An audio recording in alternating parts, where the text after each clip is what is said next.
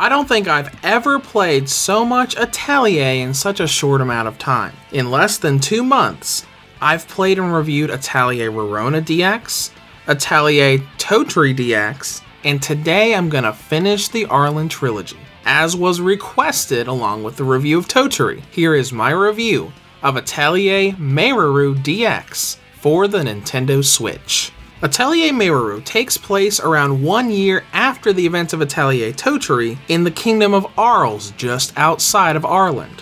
When Totori visits and becomes the resident alchemist, the kingdom's princess becomes amazed and practically begs to become Totori's pupil, wanting to shirk her duties in favor of learning alchemy.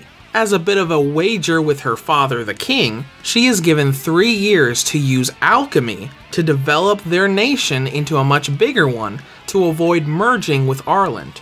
The story of this game I think is a little bit odd for an Atelier game because of the lack of comedy. When I play an Atelier game, I expect to see constant comedy over and over and over again. Meruru's story is a lot more serious. There are some comedic scenes, especially when Rorona and Astrid show up, but for the most part, it's probably the most serious Atelier game that I've ever played. And it also shares the problem that Totori's story had retroactive continuity. There are a lot of retcons in this game that contradict events and especially personalities from the previous two Arland games. Now, if you've never played Rorona or Totori, these aren't really gonna bother you. But as a returning player of Rorona and Totori, it's very strange to see characters that I know come in and have the first thing in my mind be, who are you and what have you done with the character that I know and love? With gameplay, it's the same song and dance as the other Arland games. Atelier Meruru DX is a turn-based RPG with a lot of item synthesis and time management elements. And like the other DX games, this is a port of Atelier Meruru Plus from the PlayStation Vita, which included all DLC from the original release and had some new content in the form of new events, playable characters, and bosses. In other words, it's just like Meruru Plus, but with a different name and on a different platform. Progression hasn't really changed that much in the grand scheme of things. You've still got a hub town where you can perform alchemy at your workshop, buy items in various shops, and report on quests at the castle, along with a world map where you can travel around and go to dungeons to fight monsters and gather materials. The main difference here is that unlike Atelier Totori, you only have one hub town and don't have to travel across a map to get to another one. But by far the biggest element of this game is development.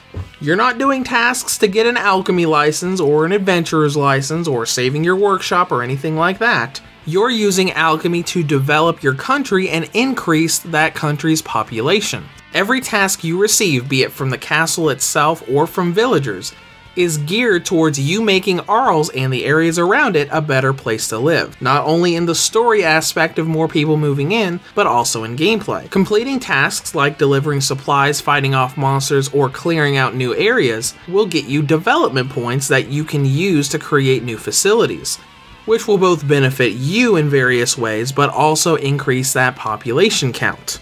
And that leads into the main tasks of the game. Unlike Atelier Totori, you have yearly goals here, so it's a lot easier to manage.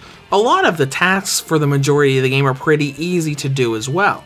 I didn't have as much free time as I did in Atelier but I easily got to all of my goals within at least 2 to 3 months of their deadlines, meaning that unlike in Totori, I had a good amount of free time to do whatever I wanted. And before I finish off this section, let's talk about one thing that I really, really love about this game. The variety and extremely large cast of playable characters. You've got new characters like Rufus, Keina, and Hannah. They've got returning characters from the previous games like Rorona, Esty, and Mimi. Plus, they've got side characters that can join your party like Pamela, who I rarely ever see as a playable character despite how many games she's been in. It's really a treat to be a fan of the series because of the sheer number of characters that you've got here. Now, when all of this comes together in terms of content and length, you've got plenty to do here. It should take you around 15 to 20 hours to get to the three year point where you can get the normal ending. And assuming you pass that milestone,